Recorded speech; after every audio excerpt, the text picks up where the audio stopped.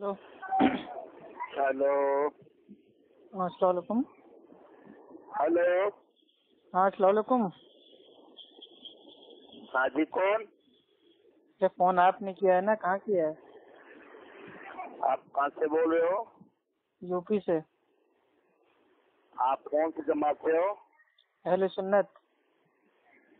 اہل سنت سے۔ ہوں۔ آپ کون ہیں؟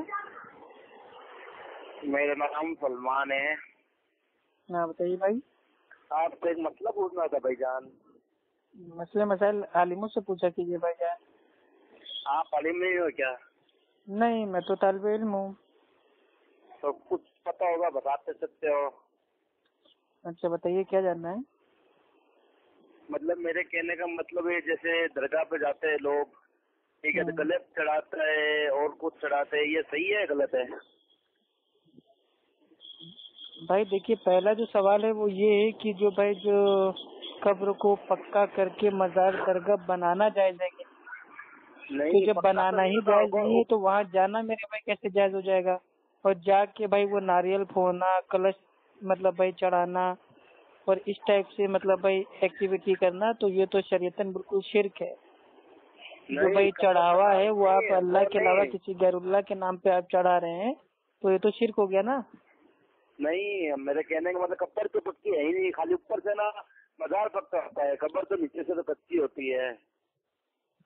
تو نیچے میرے بھائی کچی ہوتی ہے لیکن اس کی جو ڈپلیکیٹ جو میرے بھائی قبر ہوتی ہے وہ اوپر بنائی ہوتی ہے نا۔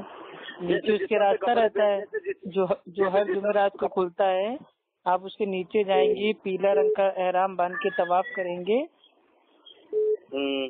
ہے نا تو یہ میرے بھائی شرک ہے نا میرے کو تو پتا نہیں آپ سے پوچھنا تھا میرے کو جیسے بول رہے تھے وہ دو تین میں ان سے پوچھنا تھا میں آپ کو فون لگا کے پوچھ رہا ہوں نہیں دیکھیے قبروں پہ جائیے اللہ کے نبی نے فرمایا۔ تم قبروں پہ جاؤ تاکہ تم کو آخرت یاد آئے لیکن اللہ کے نبی نے۔ کہیں پہ بھی نہیں کہا کہ تم مطلب وہ درگاہ پہ جاؤ آستانوں پہ جاؤ مزاروں پہ جاؤ چادر چڑھاؤ پھول برساؤ منتیں مانگو یہ سب کہیں نہیں کہا ایسے نہیں مطلب نا جیسے درگاہ پہ جاؤ فاتح درود پڑھو ہوں نہیں فاتحہ۔ میرے بھائی فاتحہ درود جو ہوتا ہے وہ اس ٹائپ سے کرنا اپنی عقل سے منمانے انداز سے کرنا بدعت ہے۔ فاتحہ سے مطلب اگر سورہ فاتحہ پڑھنا ہے تو آپ نماز کے اندر پڑھیے نماز کے باہر پڑھیے اٹھتے بیٹھتے پڑھیے کوئی اس میں میرے بھائی نہیں ہے لیکن فاتحہ کا ہوں۔ معنی اگر یہ ہے کہ فاتحہ پڑھنا نہیں ہے فاتحہ دینا والا فاتحہ کہ فاتحہ دے رہے ہیں ہوں۔ اس کو بولتے ہیں فاتحہ خانی یعنی کہ بھائی۔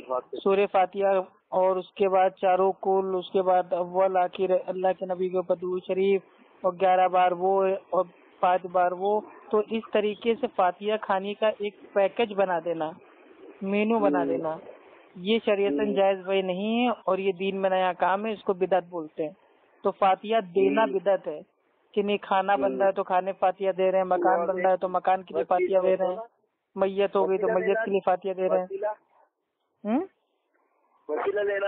وسیلہ لینا۔ فرض ہے۔ اہل سنت کے وہاں وسیلہ لینا فرض ہے لیکن وہ جو وسیلہ ہے وہ جائز وسیلہ ہے۔ یعنی کہ نماز اور صبر کے ذریعے اللہ سے مدد کو طلب کرو۔ وسیلہ جیسے بولتے ہیں جیسے نبی کی نبی سے وسیلہ لیتے نبی کا نام لے کر وسیلہ لیتے یہ جائز ہے نہیں؟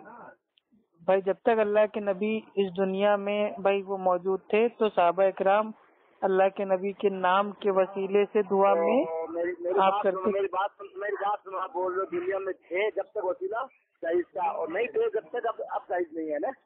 ہاں کیونکہ عمر رضی اللہ تعالیٰ عنہ اللہ کے نبی کی وفات کے بعد کبھی ان کے نام سے دعا میں آپ نے وسیلہ نہیں لیا۔ جب اللہ نے مطلب نا جبریل اسلام نا کیا نام ہے عدم اسلام جب نا اللہ بات کر رہے تھے نا جب نا اوپر نا کلمہ لکھا ہے تو انہوں نے بھی نا وسیلہ عدم اسلام نے بھی نا نبی صلی اللہ علیہ وسلم کا وسیلہ لیا تھا۔ نہیں اللہ بھائی، یہ جو حدیث ہے بھائی یہ موضوع حدیث ہے من گڑت ہے۔ کہ آدم علیہ السلام سے جب غلطی ہو گئی تو آدم علیہ السلام نے عرش کے اوپر ایک کلمہ دیکھا اور کلمے ہاں، پہ کلمہ لکھا تھا لا۔ الہ الا اللہ محمد رسول اللہ تو آدم۔ علیہ السلام نے سوچا اللہ نے اپنے نام کے ساتھ کس کا نام جوڑا ہے تو انہوں نے اس کے نام سے وسیلہ لے لیا تو یہ حدیث۔ میرے بھائی بالکل بکواس ہے؟ من گڑت ہے موضوع ہے اس کو حدیث کہنا ہی حدیث کی توہین ہے کیونکہ یہ قرآن کی۔ بالکل میرے بھائی الٹ ہے خلاف ہے اللہ اللہ سبحانہ و تعالیٰ قرآن میں فرماتا ہے کہ ہم نے آدم کو توبہ کے کلمات سکھائے۔ ربنا ظلمنا انفسنا۔ تو اللہ تعالیٰ نے آدم کی توبہ کو قبول کیا۔ تو یہ کلمہ علمہ بھائی نہیں دیکھا تھا۔ یہ تو جھوٹی حدیث ہے۔ نہیں تو جیسے آپ لوگ بھی نا جیسے ہوتی ہے دہلی حدیث والوں کی ہوتی ہے وہ تو مجھ پہ نازل ہوتی ہے جتنی حدیثیں آپ لوگوں نے پیر ولیوں پہ دیا سب ایسے بول دیا پیر ولیوں پہ اللہ نے فرمایا۔ دیکھیے مکہ کے جو مشرق تھے ان کی طرح اگر ہاں۔ عقیدہ آج کے بریلیوں کا ہے تو جو مکہ کے مشرقوں کے لیے آیتیں نازل ہوئی تھی وہ آج کے بریلیوں کے اوپر ہی لاگو ہوں گی نہیں ہوگی وہ تو کیوں نہیں ہوگی؟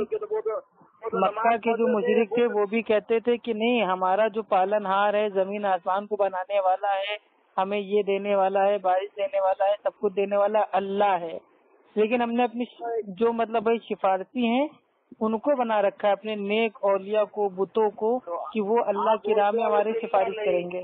مطلب آپ بولے ابھی نبی صلی اللہ علیہ وسلم پہلے دنیا میں تھے اب نہیں ہے تو قرآن میں فرما رہے وہ قبر میں آج بھی زندہ اللہ سبحانہ و تعالیٰ فرماتا ہے نا سورہ آل عمران سورہ نمبر تین آیت نمبر ایک سو پچاسی میں کلو نفسن ذائقت الموت۔ یعنی کہ ہر جاندار کو موت کا مزہ چکھنا ہے ہر نفس کو موت آنی ہے۔ قرآن میں تو سے کیا معاذ اللہ اللہ کے نبی نے آپ کو آپ کے نزدیک رائے بے جان تھے آپ کے بھی تو اللہ جان کے تھی نا۔ اللہ کے جو رائے میں صحیح تھے ان کو مٹی چھو بھی نہیں سکتی ارے اللہ۔ کی راہ میں جو شہید ہو گئے ہیں ان ہاں۔ کو مٹی چھو نہیں سکتی ایسی کوئی ہاں۔ حدیث نہیں ہے بلکہ حدیث؟ اس طریقے سے ہے کہ جو انبیاء علیہ السلام کے جو بھائی جو ان کی باڈی ہے جسم ہے ان پر مٹی حرام ہو گئی ہے انبیاء علیہ السلام سے؟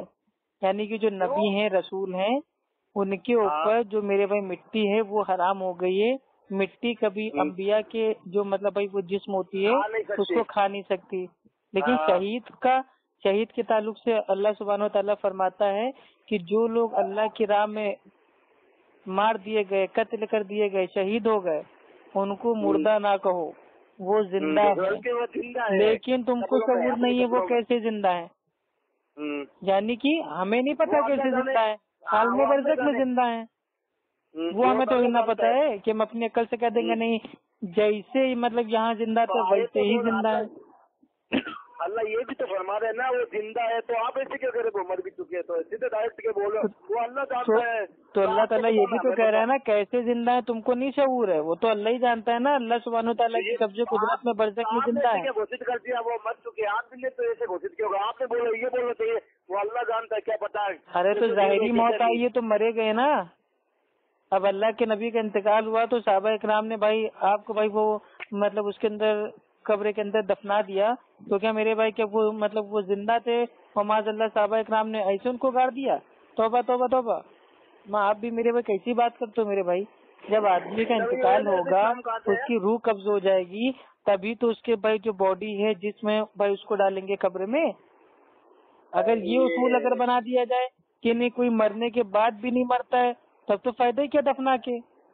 یہ تو تو زندہ ہے تو بھی زندہ ہے مر گیا تو بھی زندہ ہے زندگی بھر اس کی لاش کو رکھو۔ نماز بارہ نبی بارہ نبی اور کے ٹائم نبی صلی اللہ علیہ وسلم اپنے میں اوپر جب بنا وہاں پہ گئے تھے مطلب اوپر میسر میں گئے تھے جب اوپر جب آدم کو نماز پڑھتے قبر میں دیکھا تھا انہوں نے۔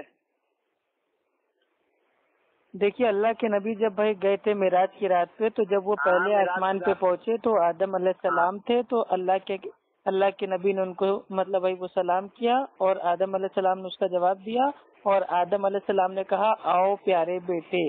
یعنی کہ اس سے ثابت ہوتا ہے کہ تمام انبیاء علیہ السلام اللہ کے نبی کے مطلب بھائی وہ آپ کے بھائی ہیں، لیکن صرف آدم علیہ السلام اللہ کے نبی کے باپ ہیں۔ کیونکہ انہوں نے کہا، آؤ میرے پیارے بیٹے. یعنی کہ اللہ کے نبی بھی آدم علیہ السلام کی اولاد میں سے ہیں۔ انسان ہیں، بشر ہیں، نور نہیں ہے ایک چیز تو بھائی اتنی ثابت ہو گئی۔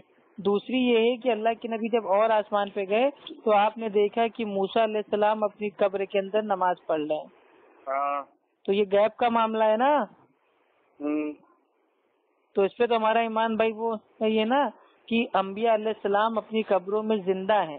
لیکن کیسے زندہ ہیں اس کا ہم کو شعور نہیں ہے۔ وہ برزخ کی زندگی ہے۔ ہم یہ نہیں کہہ سکتے جیسے دنیا میں زندہ تھے۔ ویسے زندہ ہیں کھاتے ہیں پیتے ہیں لیٹرین باتھ روم کرتے ہیں نہاتے ہیں دھوتے ہیں۔ ہم یہ نہیں کہہ سکتے نا۔ ہم تو کہیں گے بھائی زندہ؟ ہیں اللہ کی بھائی قبض ایسا کون بولتا ہے؟ وہ کہتا ہے خبروں کے اندر ایسا کس نے بولا؟ بھائی آپ کے اعلیٰ حضرت انہوں نے میرے بھائی لکھا ہے ملفوظات اعلیٰ حضرت میں کہ انبیاء علیہ السلام اپنی قبروں میں زندہ ہیں اور ان کے پاس ان کی بیویاں پیش کی جاتی ہیں اور وہ ان کے ساتھ شباشی فرماتے ہیں معذ اللہ۔ تو اب بتائیے ان کے نزدیک تو جیسے دنیا میں زندہ تھے ویسے ہی میرے بھائی قبر کے اندر بھی زندہ ہے ہر جگہ حاضر اور ناظر ہیں۔ تو یہ عقیدہ اتنا باطل عقیدہ۔ والے لوگ ہاں بھائی؟ کے مٹی میں مل گئے۔ یہ دیوبندیوں کے کسی اکابر نے میرے بھائی لکھا تھا کہ اللہ کے نبی مر کر مٹی میں بھائی وہ مل گئے معذ اللہ ہمارا اہل سنت اہل حدیث کا عقیدہ ہے کہ انبیاء علیہ السلام کے بھائی جو باڈی ہے جسم ہے اس پہ مٹی حرام ہے۔ مٹی کبھی ان کے بدنوں کو کھا نہیں سکتی گلا نہیں سکتی۔ ٹھیک ہے بھائی رکھے ٹھیک ہے اوکے السلام علیکم۔